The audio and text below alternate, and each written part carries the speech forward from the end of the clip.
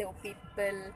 Part of the happening Hyderabad uh, seg- segment, we are at this um, book fair. It's called uh, um, Hyderabad. Uh, it's an annual book fair. You can barely see me. It's better to be in the light or have the light on my face. Yeah, this is bet- better.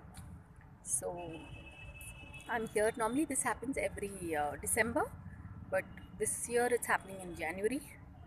And um, uh, there's this, uh, like I said, the Japanese Healing um, Foundation. So I'm, I'm looking forward to seeing seeing that stall. And uh, though the crowd is too far away to really notice, but there's a part of me that feels conscious as if people will observe. But here's looking forward to some really good books.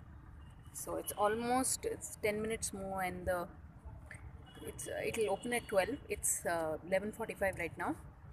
11:50 so I'm waiting to buy my ticket and go inside. So so here's wishing myself that I should find good books. And thanks for watching and please subscribe